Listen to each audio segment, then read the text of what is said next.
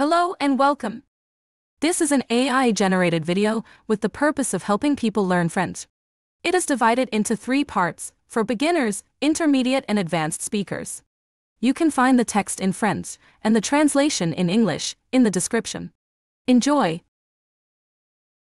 Bonjour à tous. Aujourd'hui, nous allons explorer l'industrie de la mode française, une véritable puissance culturelle.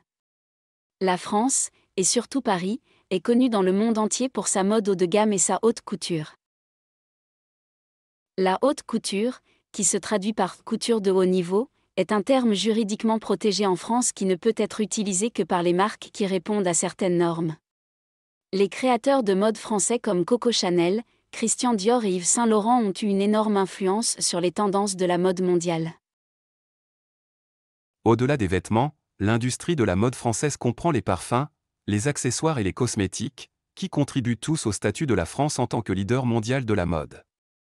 La Fashion Week de Paris, qui a lieu deux fois par an, présente les dernières créations et détermine les tendances de la saison à venir.